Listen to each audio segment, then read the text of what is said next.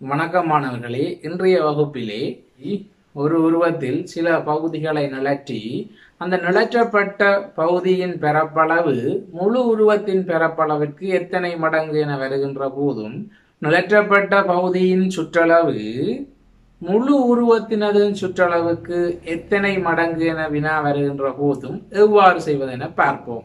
இங்கு ஒரு முக்கோணி காணப்படுகின்றது. இவை சமமாக நான்காக பிரிக்கப்பட்டுள்ளது. ஒரு முக்கோணி காணப்படுகின்றது. நான்காக பிரிக்கப்பட்டுள்ளது. எனவே இங்கு முதலிலே இந்த பிரிக்கப்பட்ட பக்கங்களை போட வேண்டும். முதலிலே பிரிக்கப்பட்ட பக்கங்கள் சமமான பிரிக்கப்பட்ட பக்கங்களை போட வேண்டும். எனவே இங்கு நான்கு. இங்கு பரப்பளவு நான்கு துண்டுகளை கொண்ட பரப்பளவு உள்ளது.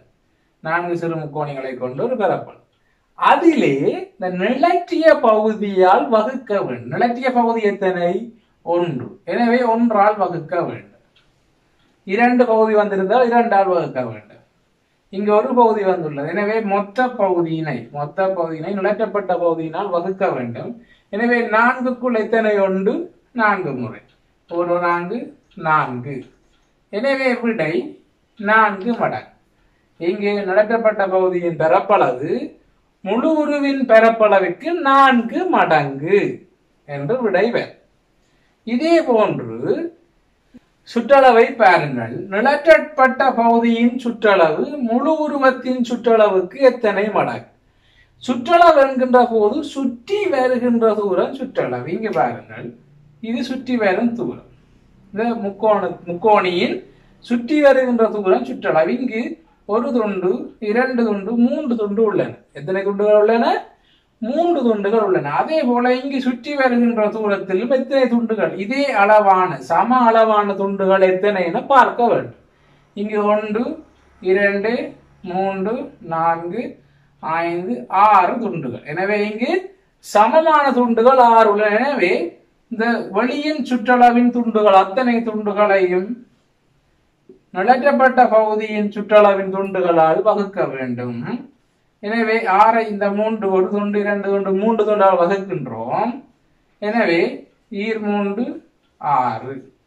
இங்கு சுற்றளவு இரு மடங்கு. நிலற்றப்பட்ட பகுதியின் சுற்றளவு முழு உருவத்தின் சுற்றளவுக்கு இரு மடங்கு. எனவே இவ்வாறான சதுர வினாக்கள் வந்தாலும் சரி வேறு வினாக்கள் வந்தாலும் சரி சில இது சமமாக பிரிக்கப்பட்டு காட்டப்பட்டிருக்கின்றது. சில- சில வினாக்களில் உருக்கள் சமமாக பிரிக்கப்பட்டு காட்டப்படாது. ஏதாவது பெரிய உருவை தந்தால் சிறு பகுதியை மட்டும் நிலட்டியிருப்பார்கள் எனவே நாங்கள் முதலிலே சமமாக பிரிக்க வேண்டும். ஒரு உருவத்தை சமமாக பிரித்ததன் பின்னரே இவ்வாறான வினாக்களை செய்ய வேண்டும். இது போன்ற அஹ், சதுரம் வேறு நட்சத்திரம் போன்ற உருவங்களில் இவ்வாறான வினாக்களை கேட்கலாம். மீண்டும் விளக்குகிறேன். நிலட்டப்பட்ட பகுதி முழு உருவத்தின் பரப்பளவின் எத்தனை மடங்கு என்று வந்தால் முதலில் மொத்த பகுதிகளை போட வேண்டும். நிலட்டப்பட்ட பகுதியினால் வகுக்க வேண்டும். எனவே விடைவர் அதே போல நிலற்றப்பட்ட பகுதியின் சுற்றளவு சுற்றி வர உள்ள தூரம் ஒரு துண்டு ரெண்டு துண்டு மூன்று துண்டு. அந்த மூன்று துண்டு சுற்றளவும் முழு உருவத்தின் சுற்றளவுக்கு எத்தனை மடங்கு என்றால் முழு உருவத்தின் துண்டுகளை பார்க்க வேண்டும். சுற்றளவின் துண்டுகளை பார்க்க வேண்டும். ஒன்று இரண்டு மூன்று நான்கு ஐந்து ஆறு. இங்கு ஒன்று இரண்டு மூன்று. எனவே முழு சுற்றளவின் துண்டுகள் ஆறினை நிலற்றப்பட்ட உருவின் துண்டுகளால் வகுக்க வேண்டும். எனவே ஆறை மூன்றால் வகுத்தால் இரண்டு மூ இரண்டு ஆறு. எனவே இவ்வாறான வினாக்கள் வருகின்ற போது இலகுவாக செய்து கொள்ளுங்கள்.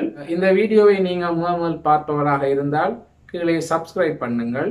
இந்த வீடியோ உங்களுக்கு பிடித்திருந்தால் லைக் செய்யுங்கள். ஏனையவரும் பார்த்தறிய ஷேர் செய்யுங்கள். நன்றி.